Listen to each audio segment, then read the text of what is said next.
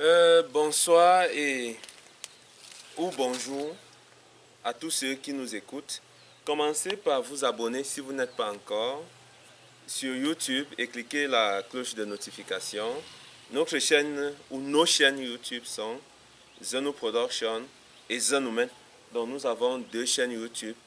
Et pour la page Facebook, cliquez sur Zeno Production et abonnez-vous. Partagez massivement la vidéo pour nous encourager, premièrement, même si vous n'aimez pas la culture, pour partager ce que nous avons aussi partagé avec vous. Parce que si nous étions euh, face à ces connaissances et nous ne partagions pas avec vous, ce ne serait pas quelque chose de bien. Alors si vous avez écouté, si vous avez même pris le temps d'écouter le début de cette vidéo, partagez, ça pourra aider quiconque ou euh, les gens. Alors aujourd'hui, nous vous parlerons de la divinité c'est quoi la divinité? C'est quoi euh, euh, ce qui gouverne le monde ou celui ou quoi que ce soit? Généralement, les gens parlent de, dans d'autres cultures, dans d'autres spiritualités, ils vous parleront d'un être. Bon, quand on parle d'être, ça veut dire que c'est euh, quelque chose qui vit, qui respire et tout. D'autres iront même jusqu'à vous dire euh, il a la morphologie de l'homme. Il est comme l'homme. C'est le super-homme. Ok, ça veut dire qu'il euh, réduise sa, euh, sa personnalité aux hommes. Donc, il essaye de faire la caricature de celui-là comme étant l'homme. C'est pourquoi ils diront même que la divinité a créé l'homme à son image. D'autres iront même encore plus loin en lui donnant même un sexe.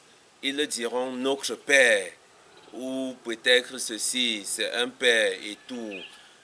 Ils vont même aller à donner le sexe. Bon, revenons maintenant chez les peuples-là.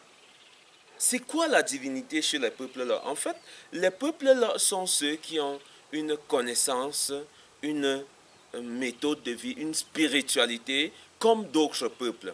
Cependant, la divinité chez nous Que veut dire Nsi Nsi signifie tout simplement la présence. C'est quoi la présence? La présence, c'est tout ce qui existe, c'est tout ce qui nous entoure. Alors la divinité chez nous n'est ni un homme, ni un être, euh, un être, ni un objet, ni un animal. En fait, c'est l'ensemble de tout. Donc ceci auprès de moi fait partie de la divinité. Moi, je fais partie. Cette plante fait partie, les animaux font partie de la divinité. On les appelle ainsi. Si vous définissez ceux qui sont euh, des, euh, des peuples là, ce que veut dire ici, ça veut dire présence. Par exemple, si vous allez chez quelqu'un, dans la langue que j'utilise comme langue témoin de cette vidéo, je parlerai de abun si là pour dire que quelqu'un est là. Donc si, ça signifie présence, ça signifie être là. Donc, voilà en quelque sorte ce que nous avons comme la, divinité. Cependant, pour entrer en contact euh, avec une divinité qui n'est ni être, qui n'est ni humain, qui on peut entrer en contact avec lui, avec tout ce qu'il y a autour de nous. Comment? En menant une vie paisible avec ce qu'il y a autour de nous. Alors si je préserve la vie de cette plante, ça veut dire que j'entre en harmonie, je suis en harmonie avec la divinité, je suis en contact avec la divinité. Je sais que si je commets du mal à un être vivant, à un être humain, à un animal, j'ai commis du mal à la divinité. Alors, selon maintenant les lois de la divinité chez nous, chez les peuples là, il faut réparer ces erreurs-là.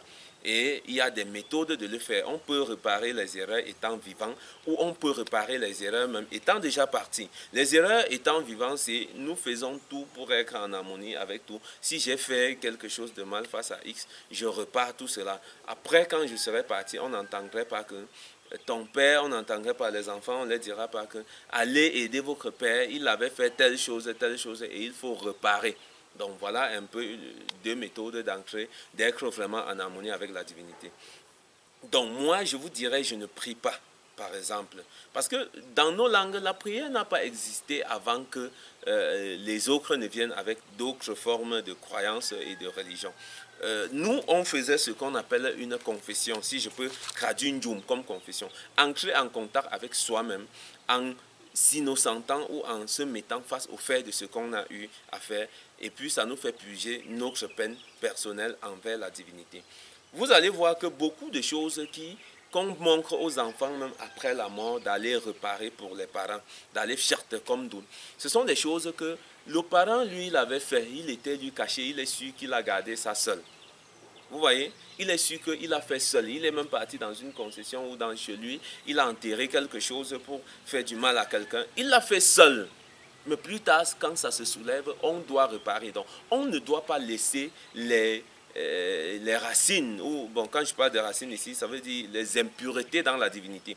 Pendant notre vie, c'est ce que nous recherchons, nous les peuples du Nord. C'est justement pourquoi les coutumes ont lieu. Parce qu'il faut réparer toutes les impuretés, tous les, les, méfaits qu'on a eu à faire envers la nature.